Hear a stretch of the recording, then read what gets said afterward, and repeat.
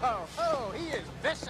Not vicious. Oh, come on, Susan. Don't kid yourself. That man is a killer. All he said was he didn't get it. I don't get it. I don't get it. I don't get it. Just take it the bag.